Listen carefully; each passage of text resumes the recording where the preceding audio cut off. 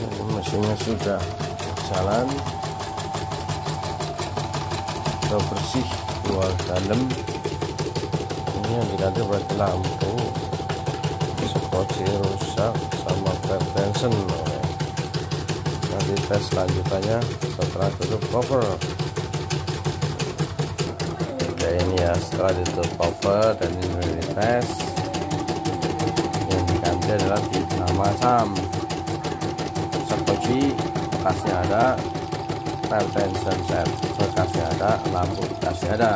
Ya. kalau yang satunya nanti itu tidak ada skocinya memang. Kirim hasilnya sudah sangat bagus tidak ada kendala sama sekali.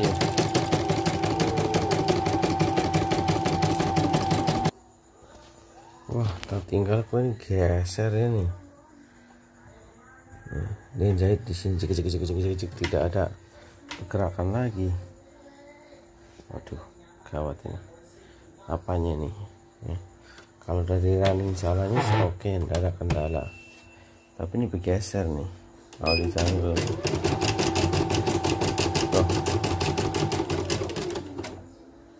Hasilnya begini.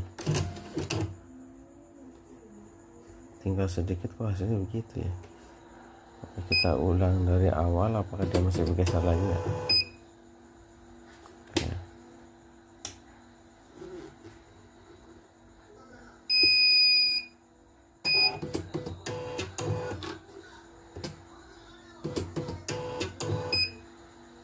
Dia berarti tidak bergerak ke arah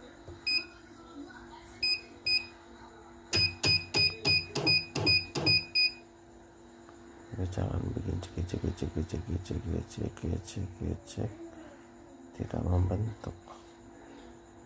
Ya saya coba lagi.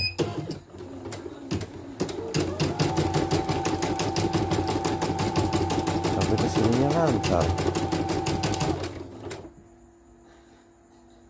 Coba saya ini kan apa namanya ya?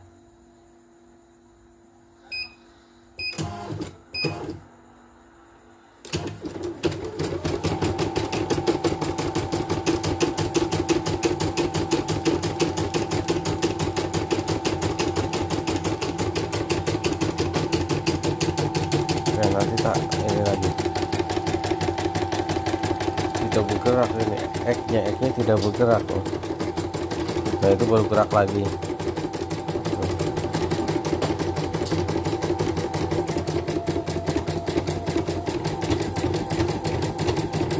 Wah kacau tuh hasilnya.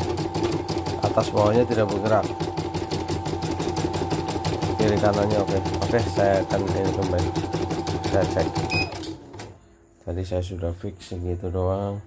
Nah ini kalau intinya di tas ya begini jadi tahu. Dinamonya ini bermasalah kalau saya lihat bukan dari kirinya karena apa namanya? Dinamonya. Bongkar lagi.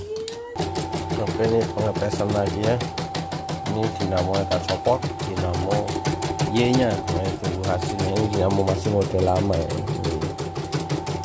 model baru itu tidak ada cetakan kertasnya langsung digrafir. Nah, dilihat dulu sampai selesai ya. Memang beda kok hasilnya yang ini tuh lebih kerang. Oke berhenti dulu ya. Ini lebih kerang lebih halus di pinggirannya.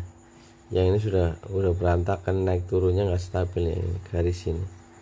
Nggak tahu sampai di sana dia ngacelak ngacelak gitu